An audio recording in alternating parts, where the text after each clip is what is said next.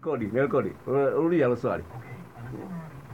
Uhum. na miaka 29 Yeah. anasema nina mpenzi tunaelekea mwaka sasa lakini ghafla imejikuta tu eh, hisia zinapotea sio kama zamani eh, anasema sasa nifanyeje dokta eh, kwa sababu imefika hatua anasema kwamba nimepata mwanaume mwingine eti kwamba simpendi eh, sasa nifanyeje ili basi kuweza kurudisha hisia zangu kama zamani Asante dada. Well, nimelipenda hilo swali na ndio maana nimeamua kurekodi ili watu wa YouTube vile waliangalie vile vile. Ni kwamba uhusiano una, una mwaka.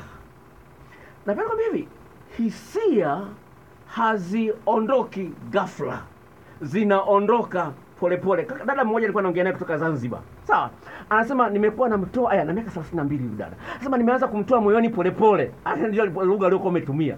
Sasa kwa nimeanza kumtoa moyoni polepole, nimemtoa moyoni, sasa hivi amenitoa kabisa. Anasema, Kwa hiyo yani ni kwamba unaona yani unaanza anasema anasema anasema nimeanza kumtoa moyoni polepole. Sasa hivi ah, ah, hata kifanya mambo yake yani sina habari naye kabisa. Kwa hiyo kwa maneno mengine ni kwamba huyu kaka ni kweli umeshamtoa moyoni mwako, ndio maana huna hisia. Asilimia kubwa ya wanaume hawajui njia sahihi za kumfanya mwanamke aendelee kujisikia anapendwa. Kama ujanga, kama kama unaweza kuangalia video yangu, video yangu inasema kwamba jiulize, uh, jiulize ya, ile sema sema sema kuna video ambayo nimeweka sema sema jiulize kwa nini Eh, jiulize unakosea wapi. Ya, Hiyo ndio video ambayo nimeweka YouTube. Itafute hiyo video. Nimezungumzia kwa, pande zote mbili, wanaume na wanawake. Jiulize unakosea wapi. Naomba naomba nielezee kile ambacho nimekielezea kidogo kifupi. Ni hivi. Ni kwamba asilimia kubwa ya wanaume yani, ili mradi tu ana pesa, anaweza kumpa mwanaume mwanamke pesa, anafikiri kwamba hiyo inatosha. Mwanamke anahitaji kwanza story, anapenda maongezi, tafuta muda wa kukaa naye. Namba mbili, mwanamke anapenda kusifiwa, asante, shukrani, sawa. La tatu, msifie uzuri wake na nini. Nimekumbuka sijamsifia mke wangu, jana alikuwa amevaa kimini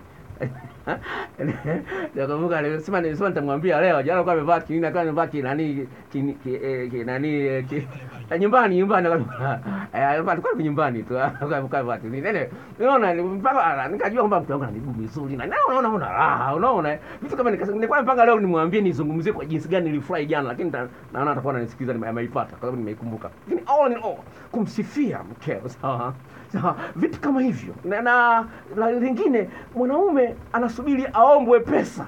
Kama jana nimempa mke wangu mpa mwachia hela nyingi kidogo sawa? Anasema "Ndio, mbona umeacha hela nyingi? Za nini hizi? Nikamwambia utajua mwenyewe. Wewe utajua mwenyewe.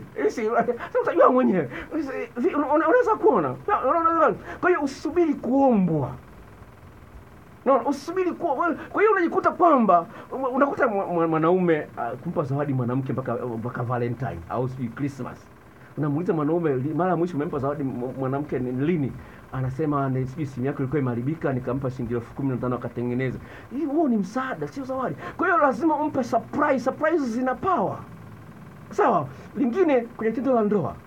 Kwenye tendo la ndoa asilimia kubwa ya wanaume hawahangaiki wahakikishe kwamba mwanamke anafika kileleni sawa kwa hiyo unakuta mwanaume anamwandaa mwanamke dakika tatu tano tayari mwanaume mwenyewe ana matatizo ya kuwahi kumaliza Ten- Yeah, sasa sikia, unaona. Sasa kuna video nimeshamaliza kuupload iko hapa. Nasema inayosema kwamba nguvu za kiume zinapoisha isiwe mwisho wa nani kufanya mapenzi. Lakini lengo langu ninachofanya hivi. Tafiti za kisayansi zinaonyesha hivi. Kunapokuwepo na mgusano mwingi wa ngozi yako na ngozi ya mpenzi wako, mnatibua kichocheo kinachoitwa oxytocin. Kichocheo hicho kinasababisha mtu akupendelee wewe kuliko mtu mwingine yote yule, na kichocheo hicho kinatoka kwa wingi inapokuwepo na msuguano wa, wa ngozi, sawa. Na anapofika kileleni mwanamke anatoa uh, oxytocin nyingi zaidi. Sasa asilimia kubwa ya wanaume hawahangaiki jinsi gani ya kumfikisha mwanamke kileleni ili mradi anampa hela, sijui anavaa vizuri, ana gari zuri, anaona inatosha sana. Haitoshi wanaume wenzangu. Sawa, mwanaume mwanamke, laana aliyopewa na Mungu, akasema hamu yako itakuwa kwa mumeo na atakutawala. Soma kitabu cha Mwanzo sura ile ya tatu.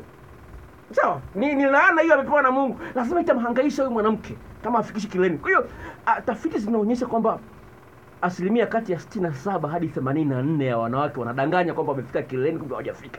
Dada yangu ulituma message hiyo. Hebu nitumie message hiyo. Tum- tum- tuma message tuma message hapa kwa Sam tuambie kama huyu mwanaume anakufikisha kileleni mara kwa mara.